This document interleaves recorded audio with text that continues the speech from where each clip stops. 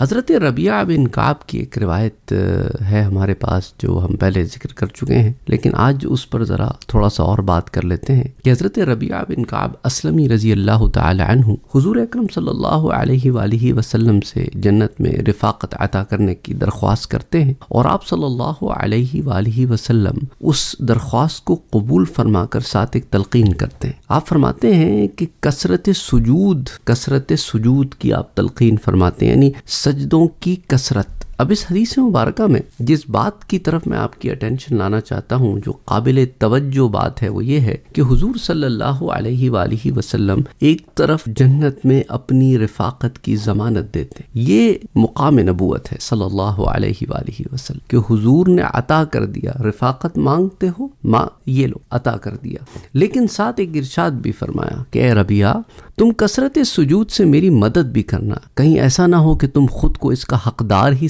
कर ना सको। हदीस मुबारक में सजदों की कसरत का लफ्ज बड़ी अहमियत का मालिक है। सजदा अल्लाह ताला के हुजूर अपने सर के, अपने जिस्म के सबसे आला तरीन हिस्सा, जिसे आप सर कहते हैं, और उसमें सबसे आला तरीन हिस्सा, जिसे आप पेशानी कहते हैं, और ज़रा मुश्किल उर्दू में जिसे जबीन कहा जाता है, उसे आप अपने रब के आगे झुकाते ही नहीं, सिर्फ़ बल्कि ज़मी बोस कर देते हैं, ज़मीन पर लगा देते हैं। यानी कि आजिज़ी और इनके सारी की इंतहा कर देते हैं। और ये सजदा अगर दिल से हो, क्योंकि सजदा और तमाम इबादत दिल से होना मांगती, ताकि आपका ज़ाहिर और आपका बातिन दोनों इबादत कर रहे हैं। तो ये रुजू अल्लाह की कामिल तरीन शक्ल है। इसमें आजिज़ी और इनके सारी का एक इतना बड़ा अंसर है कि जिससे ईमान की एक, आप समझ लें, काया पलट जाती। ये बात याद रखना कि तवसल तभी कारामद होता है जब उसके साथ अहकाम इलाही की तामील भी और फरमुदात मोहम्मद मुस्तफ़ा सल्लल्लाहु अलैहि वसल्लम का लिहाज भी। अगर कोई तवसल और शिफात के माना ये निकाल कर बैठ जाए कि अमल कोई नहीं करूँगा और बेड़ा भी पार हो जाएगा, अल्लाह सुबहाना व ताली के अहकाम को पूरा भी नहीं करूँगा और बेड़ा भी पार हो जाएगा तो ये रिवायत उस, इस सोच की नफ़ी करती कि अहकाम इलाही और इरशाद रसूल सल्लल्लाहु अलैहि वसल्लम दोनों की लाज रखनी है। अगर हम इस तरह सोचते हैं कि फला पीर के हम मुरीद हो गए हैं, वो बेड़ा पार करा देगा। फला हमारा बेड़ा पार करा देगा। ऐसे नहीं है माम जब तक तुम खुद अहकाम इलाही की तामील नहीं करोगे, वरना तो साहबा कोई अमल ही नहीं करते कि हम तो हुजूर के साहबी हैं, हुजूर बेड़ा पार करा देंगे। लेकिन साहबा की ज़िंदगी उठा के देखें तो अमल का बेहतरीन नमूना नज़र आती है। वो हुजूर सल्लल्लाहु अलैहि वसल्लम की तरबियत याफ्ता शागिर्द। अच्छा हजूर सल्लल्लाहु अलैहि वसल्लम के सच्चे उम्मती वो होते हैं जो उनसे सच्ची मोहब्बत भी करते हैं और उनके अहकाम की तामील भी बजा लाते हैं। यानी यही बात है, इसको सिंपल एग्ज़ाम्पल में समझें कि शख्स कहता है कि मैं अपने माँ बाप से बहुत मोहब्बत करता हूँ, लेकिन उनका कहा कोई नहीं मानता हूँ।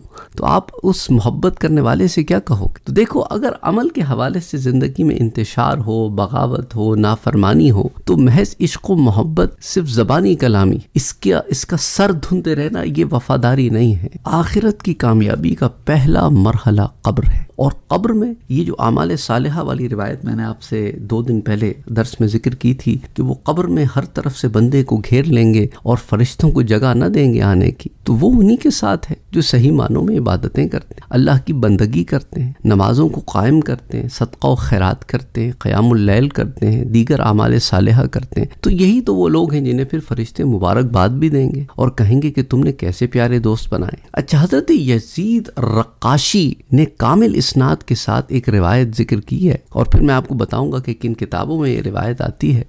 रिवायत कुछ इस तरह है कि मुझ तक ये रिवायत पहुँची है, बलगनी अनल मैत फ़ी कब्री। कि जब मैयत को कब्र में रख दिया जाता है तो उसके अमाल उसे घेर लेते हैं। फिर अल्लाह सुबहान व ताली उन अमाल को बात करने की सलाहियत अता फरमाता है। क़वत गोयाई अता फरमाता है। They can talk the deeds will be able to talk अब वो अमाल क्या कहेंगे?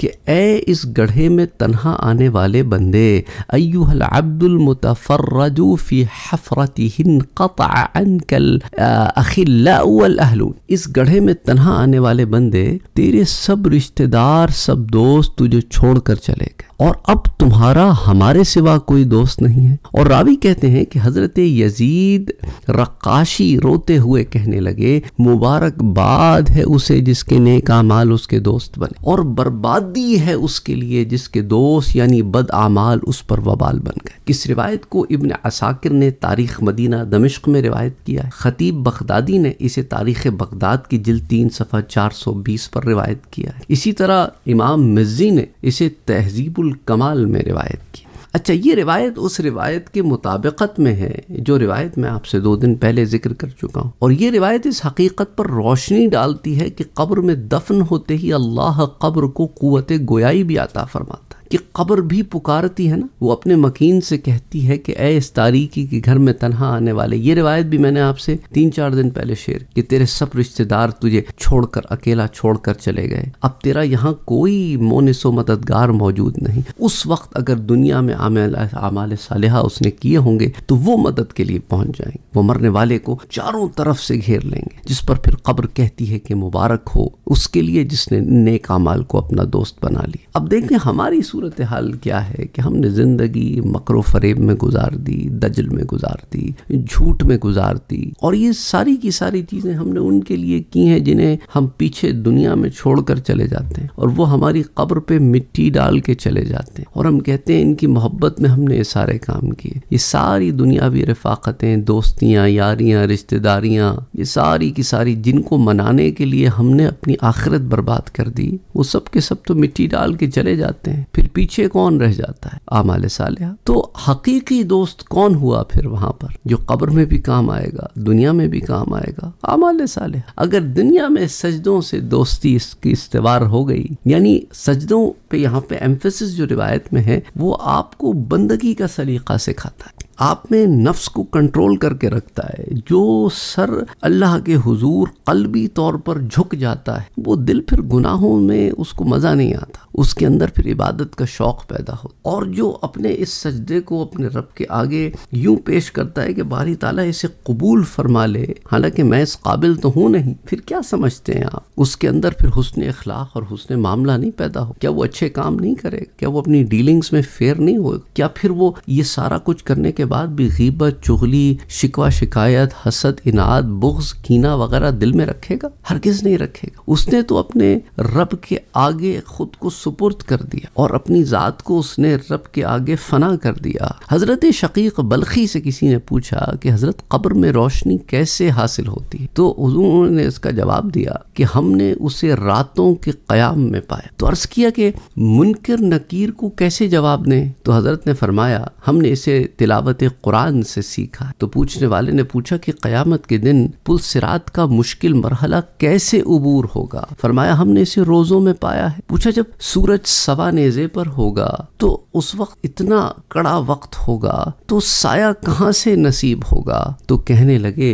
हमने इसे खिलवत में पाया है, अकेलेपन में पाया है। जब बंदा अकेले होता है और रब से जुड़ जाता है तो फिर वो सबसे कट जाता है और गुनाहों से भी कट जाता है, बुराइयों से भी कट जाता है। इसलिए अकेले में जो गुनाहों को छोड़ देते हैं, वही फिर सही मानों में गुनाहों को छोड़ने वाले। कि कॉन्वर्सेशन जो है, इसे इमाम सयूती ने शरह सदूर में बिशरह हाल मऊथा वलकबूर में ज़िक्र किया है। इस कॉन्वर्सेशन यानी हज़रत शकीक बल्खी और उनसे पूछने वाले इन सवाल की बारे में मैं बता रहा हूँ आपको। इसके अलावा इमाम सयूती के अलावा इसे सफूरी ने नुजहतुलमजालिस व नफ़ाइस में जिल्द नंबर एक सफ़ा एक सौ छब्बीस पर भी बयान किया। तो बहरहाल द बॉटम लाइन है अल्लाह सुबहाना ताला हमें उन लोगों में शामिल करे जो नेक अमल करें और ऐसे करें कि अपने रब को राज़ी करने के लिए करें और रब उनसे राज़ी हो जाए। और जब रब राज़ी हो जाए तो फिर बेड़ा पार है कि कब्र जन्नत का बाग भी बन सकती है और दोजख का गढ़ा भी। इस पर फिर अगली दफ़ा बात करेंगे। असलकम वरहमल वर्क